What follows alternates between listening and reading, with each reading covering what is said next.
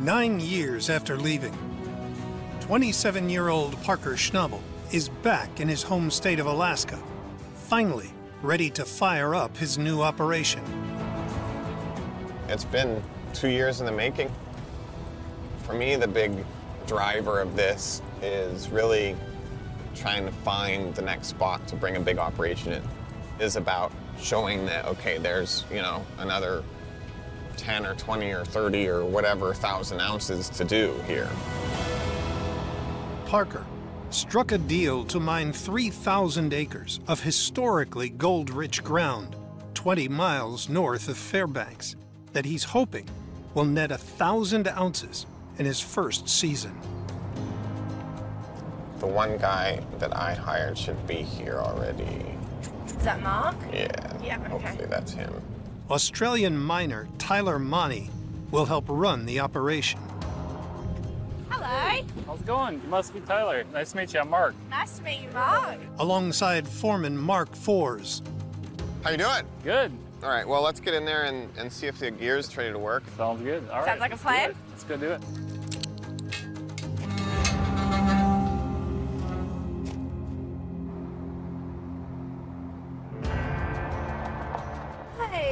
That's a good start. Oh, we got a dozer. Nice looking gear. Very new.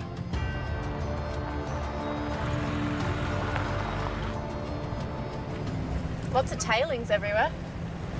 Yeah, there was two dredges on this creek. Oh, wow. This is it. It doesn't look like much right now, just a lot of trees. We did a bunch of pans in these drift tailings. So I was thinking to start with, we would just start hauling these back to the yard. And when the plant gets there, then we'll have a stockpile of pay ready to go. Seems like it'd be easy mining to start off with. Parker believes the virgin ground on his claim could hold upwards of 2,000 ounces. But with half the season already gone, first, he's going after the easy pickings.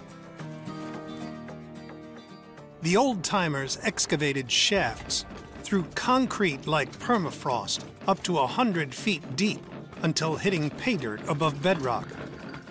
Then they drift mined horizontally and hauled out the seam of gold back to the surface, where they washed the pay dirt through primitive sluice boxes and dumped their tailings. Earlier in the season, test pans revealed Oh, yeah. that the old timers' tailings are rich in gold. This is like the best pan I've ever panned. Uh, a lot of times with tailings, if you see birch trees growing out of it, they've got roots, there's gravel, there could be gold. Parker's plan?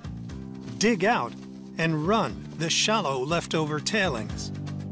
This did get underground mined pretty hard, so it's going to be a mess down at the bottom. Do you think like, we'll find like some shafts and stuff like and that? drifts and maybe even some rooms that are all roomed out, and they'll be all full of mud. All right, we're going to get this stacked up over in our yard.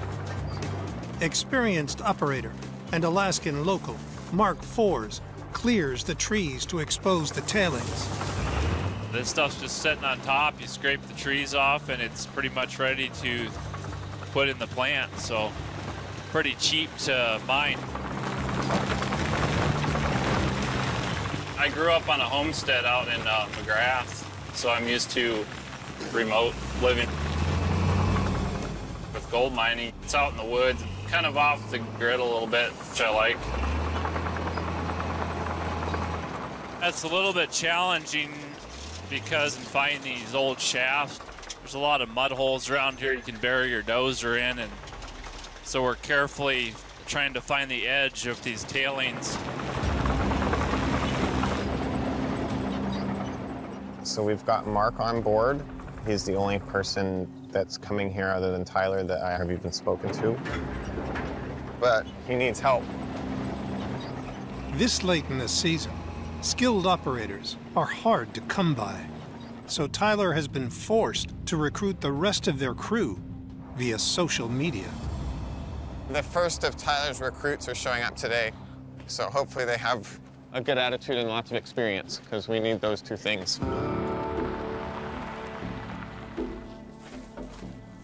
This is Phil and Jared. Hi, nice to meet you guys. Ready to move some dirt? We're Yeah. here, Okay, sweet. Parker's new recruits 36 year old Phil Wickert and 24 year old Jared Chase. You guys have ran hose before? I've never operated one, no. Always wanted to, willing to learn. Gotcha.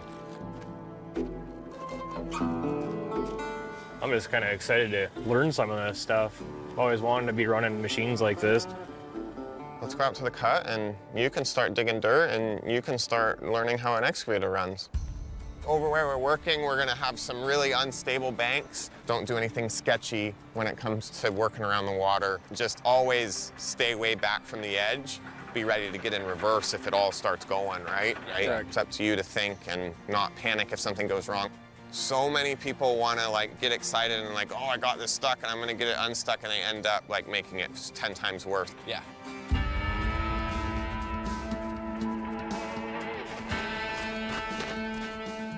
So, the big thing, the big thing, don't walk into the pond.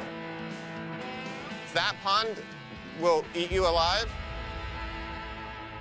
Let's go ahead and let's take the excavator and we'll walk over and find a spot for you. So you can come in here and kind of smooth this out. And then I need a road and fill this pond in. There's your chariot. Do you know how to start it? Turn the key, right? You good? Should be. What's the number one rule? Be safe. Water. Stay Don't out of in the water. pond. No swimming. Phil has been mining for eight years, operating trucks and loaders. But now he has to step up a level. So Phil has no excavator experience, which is not great. We'll see how it goes. Um, you know, day one, everybody's a little jittery. Kind of proved myself a little bit, being kind of green at uh, running excavator. Well, literally, it looks like I'm getting into the swing of it. if you know what I mean. I just gotta remember which stick does which maneuver. Is there a horn on this thing? There we go. I'm Parker Schnabel, and you're watching Discovery Australia. Hit subscribe now to not miss out on any Gold Rush content.